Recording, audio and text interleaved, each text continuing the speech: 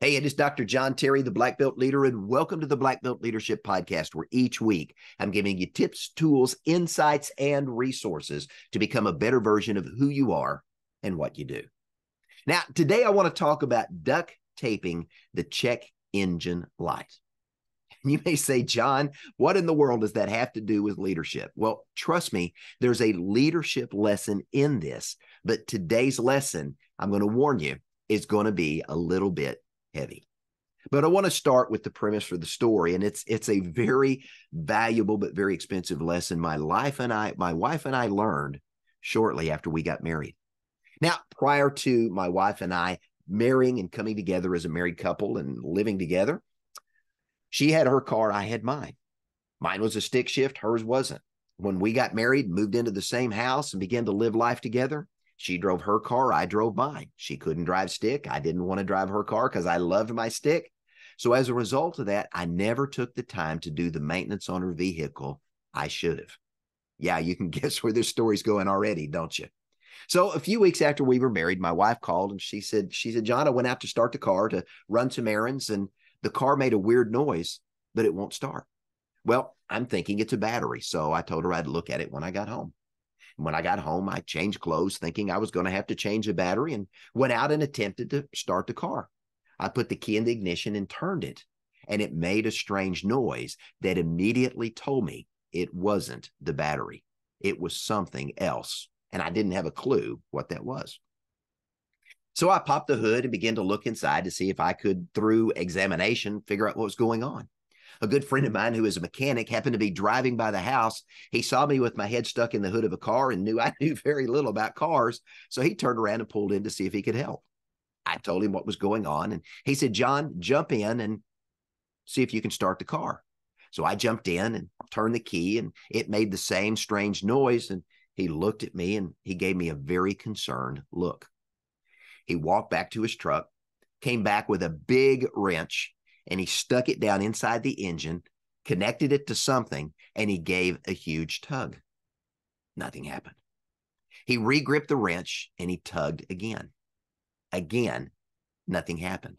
One more time, he went through the same exercise and then he pulled out the wrench. He bowed his head and he began to shake it back and forth. And he looked at me and he said, John, the engine's locked up. I said, What's that mean? He said, The engine is shot you're going to have to replace the car. Well, I immediately said, Well, how did that happen? Well, he walks to the engine, he pulls the dipstick that measures the amount of oil in the vehicle, and it was bone dry. There was no oil in the engine. So, lesson one shame on me for not being a good husband and a good steward of my wife's vehicle and doing regular maintenance on her car. Now, I asked my wife if she'd noticed anything strange about her car, and she said, Yeah, she noticed this little red light, this little red engine thing, as she described it, had lit up on the dashboard, but she didn't know what it meant. The car was running fine, so she didn't think it was important. And when she got home, she was busy unloading groceries and forgot to tell me. The next day, she drove the car again. The light was on, it was driving fine. So she thought, well, it's probably nothing. Well, I could be upset and but at that point, what difference would it make if I got upset? It would only make a bad situation worse. My wife had never been taught anything about automobiles growing up, and the guy that sold her the car didn't take the time to explain to her what the warning lights were on the vehicle and the importance of having those checked. Neither did I when we were dating or after we got married. Again, a valuable lesson learned. So I learned to pay more attention to my wife's vehicle, which I seldom drive even to this day. And she learned a valuable lesson too to let me know when that check engine light or any other warning light on the car comes on so we can get that checked immediately. Now, my mechanic smiled after he shared the bad news and he made an interesting comment that stuck with me for years.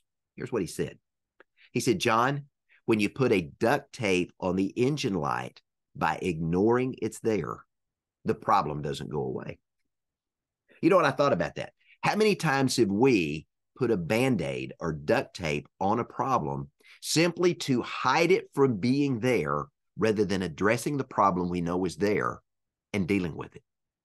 Now, for my wife and I, having to replace a vehicle because the engine had been blown was a painful ripping of the duct tape of ignoring something we should have known needed fixed.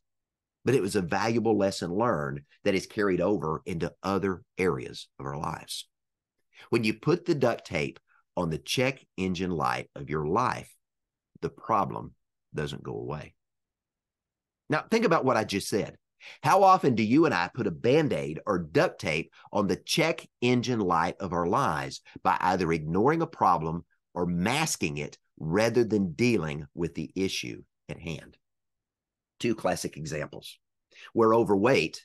So rather than correcting our diet and getting our weight back into the normal parameters, we simply stop stepping on the scale. We know we're spending too much money. So when we get the credit card statement, we only look to see what's the minimum amount we have to pay. And we don't look at that balance that's continuing to grow by not only the amount of money we're adding to it, but the horrendous amount of interest that's accumulating every single month. So those are two right out of the chute, but I want to go a little bit deeper. And this is where it's going to get uncomfortable. And since I've already stepped on your toes, bear with me if I step on them once again. According to a 2023 National Health Study, one in 10 American adults today have been prescribed antidepressants. That's one of the largest increases in antidepressant use in human history, a 35% increase in just six short years. Now, while there are legitimate uses for antidepressants, and there are people that do suffer from clinical issues that require these medications to function, the massive increase in the prescription of antidepressants among American adults begs the question are we duct taping the check engine light of our lives, simply hoping the problem will going away, or being willing to take a pill to mask and hide the problem rather than dealing with the issues in our lives. Now, I want to say again that depression and anxiety are very real issues for some people to deal with. But what we're seeing today is a growing body of evidence that we're engaging in behaviors that are fueling an unhealthy spike in self imposed depression, stress, and anxiety. So, when I saw this statistic, I had to ask myself, why is this happening? And as I dug a little deeper, let me share with you what I found. Smartphones were introduced in 2007. And just eight years later, 2015, fully 92% of teens and young adults owned a smartphone. A San Diego State University study found a strong correlation between smartphone adoption and an increase in anxiety and depression.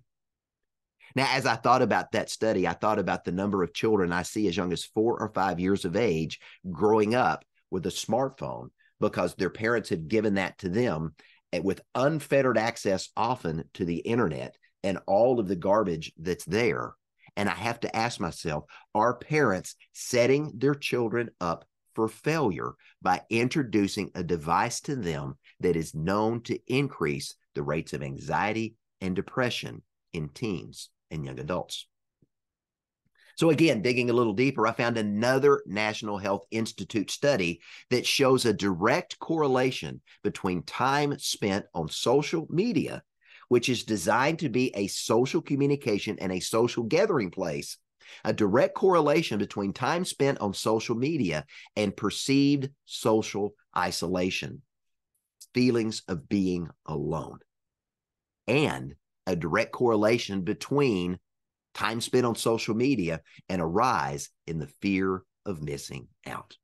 People have become so obsessed with what's going on in the world of social media, they're constantly scrolling incessantly seven, eight, nine hours a day because of the fear of missing out on something. Now, there are other studies that have found a direct correlation between a loss of self esteem and a loss of self confidence among teen and young adult women based upon the time they spend on social media. This study found that curated images of women appearing prettier, thinner, more popular, or richer are fueling increasing feelings of anxiety, depression, and worries about body image among teens and young adult women. Again, pushing them into these feelings of inferiority. Now, with the advent of smartphones, we've also seen a significant decline in individuals here in the United States and around the world engaging in physical activity and personal growth activities.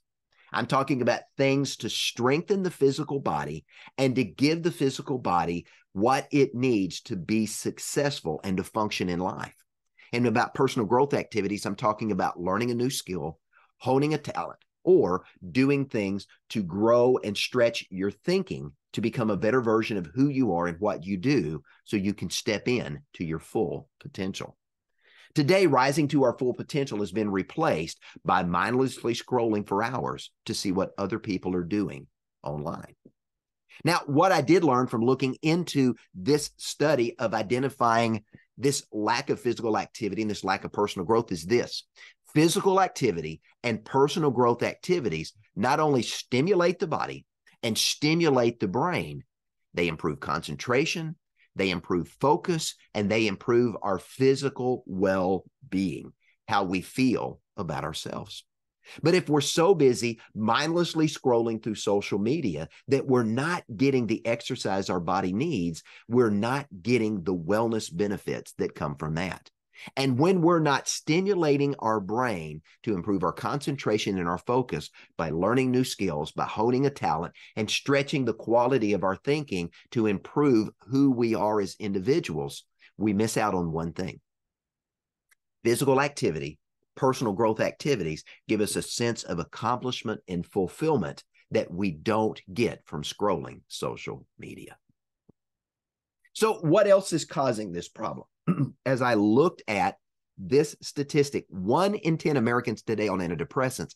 Here's another observation I took from simply looking at the world around us and what's going on and what we see in the news today. We live in a culture that glorifies and promotes victimization and oppression. And rather than focusing on the things that unite us, there's a growing push in society today to divide people into buckets by race, by gender, by skin color, by religion, by sex, or by ideology.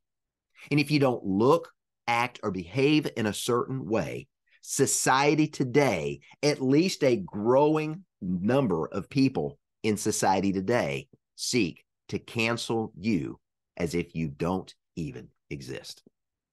Now, thinking back just a few short years ago, we agreed to disagree we had debate. We would listen to competing ideas in an open forum, much as the ancient Greeks did in centuries past, and have an opportunity to debate and discuss ideas and hear both sides of an argument. Today, that doesn't happen rather than having an open forum where these ideas can be discussed and debated and we can learn from one another and agree to disagree on minors but find the things we can agree upon and work together what do we do? Today people are retreating into these me too clubs that only want to hear from people who look and act like them the vast majority of people being social creatures fear being left out or being alone, and as a result, yield their ability to think and act independently and conform to a culture of groupthink. George Orwell coming to life right here in the United States and around the world. Now, add to that a pandemic we just went through that locked people away for nearly two years significantly amplifying the isolation many people were feeling from mindlessly scrolling social media. Add to that not just the pandemic, but global unrest. Highest inflation we've seen in almost 40 years. It is a perfect recipe for stoking fear, anxiety, depression, and anger. You know, I saw a study just yesterday that said it requires a family 11,000 more dollars in 2023 to enjoy the same lifestyle they enjoyed just a couple of years before because of rising prices. That in itself is enough to stress out a lot of people.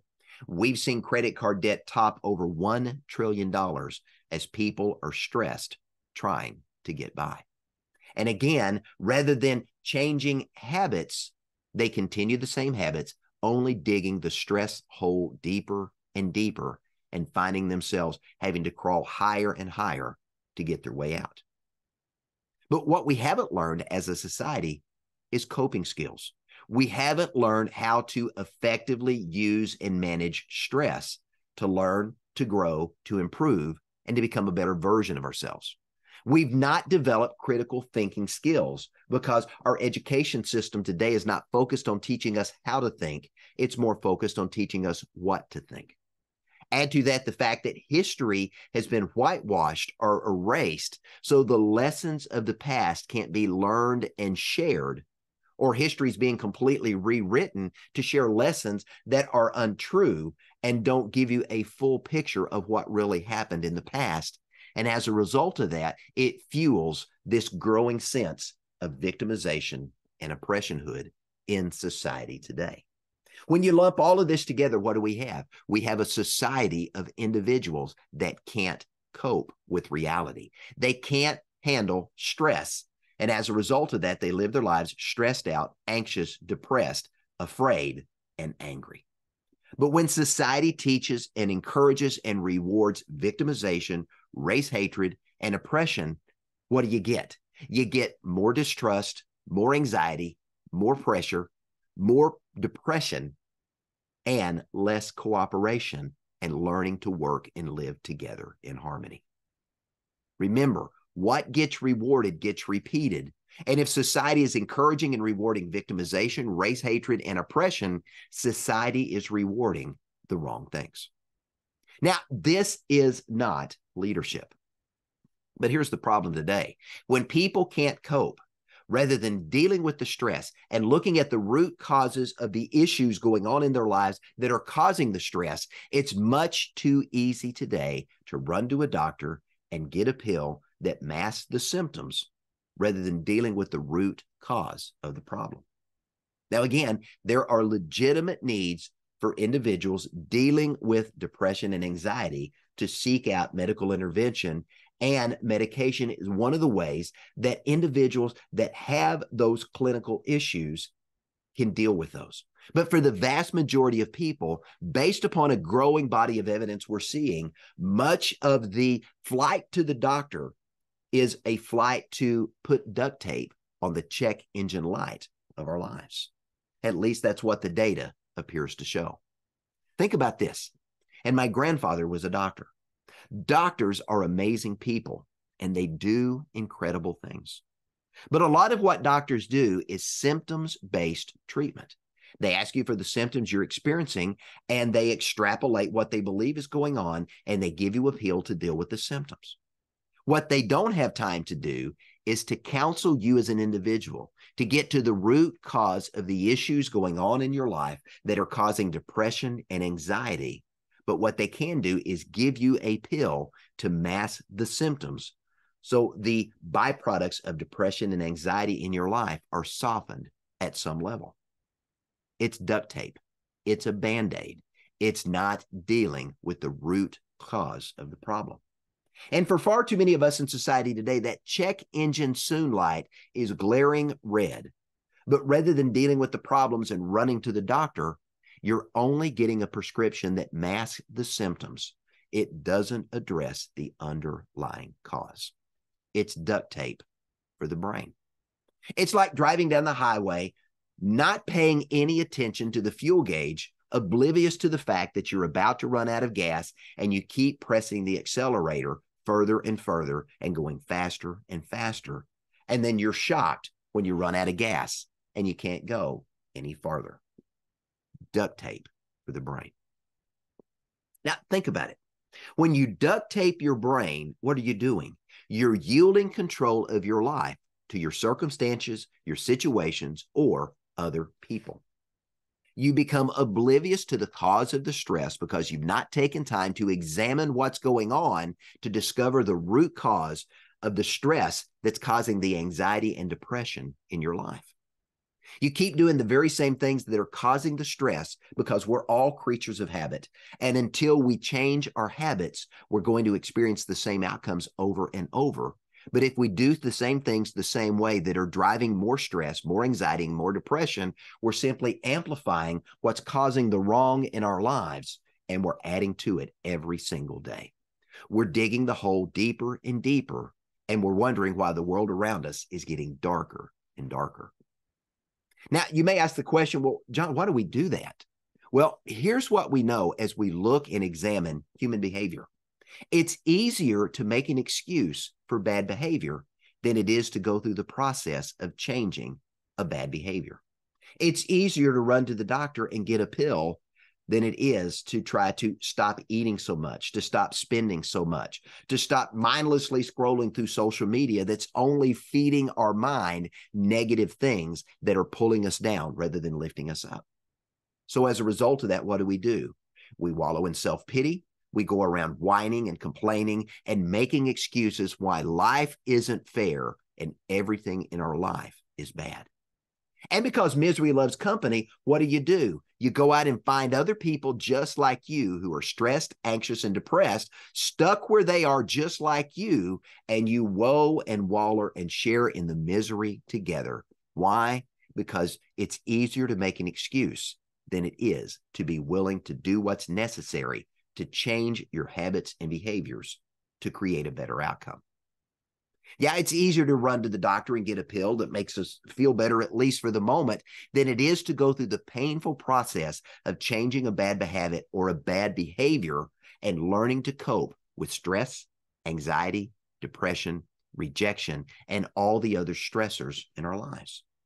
But looking back just a few decades ago, we didn't see that. People understood how to deal with stress and how to deal with it in a positive way and use that as a means to grow themselves and expand themselves rather than yielding to the pressure and seeing yourself as a victim rather than a victor. So understand this life is a series of choices and consequences. If you've been listening to me for any amount of time, you know I share this thought often. Life is a series of choices and consequences. And every day, you and I get to choose the choices that we choose to make. The consequences we experience in life is a direct result of the choices that you and I have made. So, how do we stop putting duct tape on the check engine light of our lives? How do we stop putting a band aid on the brain? Well, let me give you some tips. First, you've got to step back and examine yourself. You know, if you go back and you look at one of the ancient Greek temples, there were two words that appeared on that ancient temple, and it said, Know thyself. That is a powerful statement because it requires that you know yourself and be intentional about knowing who you are and what's going on inside of you in your thinking.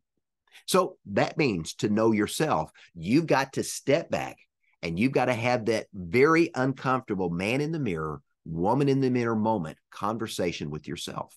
You've got to take a candid, honest, reflective, and sometimes painful look at what you're doing and how it's affecting your welfare and your well being. You've got to ask yourself why you're stressed, why you're anxious, or why you're depressed, and start looking for the triggers that are causing it. You've got to start looking for the root cause of the problem to have an opportunity to fix that. And when you can fix the root cause, the symptoms over time go away. It's like trying to turn off a water faucet that's dripping and you keep turning it tighter and tighter rather than calling a plumber to fix the root cause of a washer that maybe has worn or a device inside the spigot itself that needs to be replaced. Having a candid, honest conversation with yourself. And here's what I tell you when you do that, it is amazing what you're going to uncover when you spend time in reflective thinking. When you take the time to become intentional about what's going on in your life and the behaviors you're engaged in that are actually elevating the stressors in your life. So, step one, know yourself. Step two, choose to be happy. Remember, life is a series of choices and consequences, and we get to choose our choices. So every day we can choose whether you get happy or you get sad. You know, growing up, my mom used to say, you can get happy in the same pair of pants you got mad in. And I remember that statement to this day. And I find myself telling it to my kids and even to my grandkids when they're having an issue that they're allowing their emotions to take control of their lives. So here's a tip to choose to be happy stop seeing the world as half empty and choose to see the world as half full. When you're constantly looking for what's wrong in life, that's all you're going to see. But when you take the time to start looking for what's right in life and what's good in life, you're going to begin to see more of that and less of what's wrong. Now, one of the ways you can do that to shift your mindset, which is really what it is, it's a mindset shift, is to start a gratitude journal. Now, you may say, John, what in the world is that? Well, a gratitude journal is simply uh, a, a, journal that you can go pick up at Walmart, Target, Dollar General, any store that sells little composition books like you would use in college. They're a dollar, dollar and a half, two bucks a piece. Get a gratitude journal. Go buy you a composition notebook. And every night before you go to bed, spend 10 to 15 minutes thinking and writing down about individuals that you were grateful for today and things you experienced that you could be grateful for. Essentially, who and what you're grateful for today. Take 10 to 15 minutes right before you go to sleep to do that. Now, that's important because your subconscious mind never sleeps. And when the last thoughts of the day are focused on what you're grateful for, your subconscious mind is going to dwell and expand upon that as you sleep.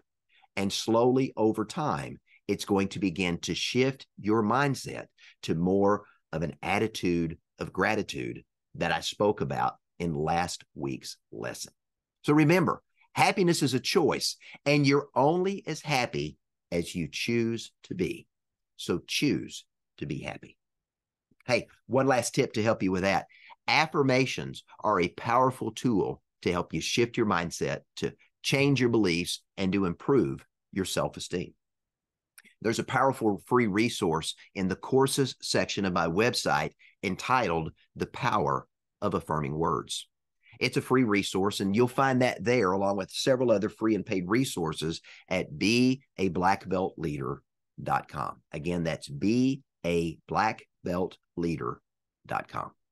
So know yourself, choose to be happy. Here's the third and final point stop seeing challenges in life as roadblocks. Remember, you see what you're looking for. So the question is this what are you looking for? in life. Don't forget your outlook determines your outcome. You've heard me say that again and again as well.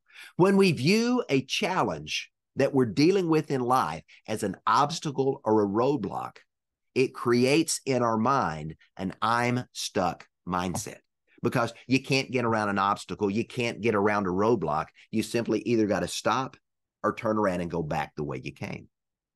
When you have an I'm stuck mindset, it leaves you as you are, where you are, unchanged, and you're going to experience more of the same. And once you believe and accept the fact that you're stuck, your brain is going to reject any information to the contrary that tries to say, hey, try this way, or try that way, or try this, or try that. It simply says, I'm stuck. I can't go forward. And you either stop moving and stay where you are, or you turn around and retreat into the stressors and anxieties and depressors that have held you down for so long. Because when you've got an I stuck mindset, all you can see is an obstacle or a roadblock with no way forward.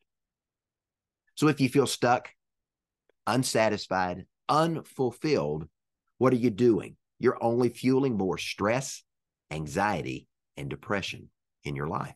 So stop viewing challenges as roadblocks. On the other hand, when you view a challenge as an opportunity, you begin to see how this challenge can let you learn something new, grow in some way, or you find a new way to keep moving forward. When you view a challenge as an opportunity, you shift your mindset from I can't to I can. And when you make that shift in your thinking from I can't to I can, it opens your mind to consider possibilities and outcomes you haven't considered before. When you move from I can't to I can, you stop seeing obstacles and roadblocks. Instead, you start seeing detours and alternate routes to get you to where you ultimately want to go. So here's my challenge to you this week. If you're living life stressed, anxious, or depressed, take a step back and examine your life. To be honest, you likely already know what you need to do to change things for the better. And if so, simply start doing those. If you don't or you need some help, go hire a coach or see a counselor who can help you uncover what you need to do to change things for the better. So let me encourage you to take that first uncomfortable step you need to do to change things for the better in your life. Shift your focus from what's wrong in your life and in the world around you, and instead start focusing on what's right in your life and what's right in the world around you. Hire a life coach to help you put together a success plan for life. You know, Coach Tom Landry, the eh, amazing coach of the Dallas Cowboys, said it well. A coach is someone who tells you what you don't want to hear, who has you see what you don't want to see, so you can be who you've always known you could be. If you need professional help, go get it. If you need medication, take it. There's no shame in that. Do what you need to do to get back to a healthy, vibrant version of you.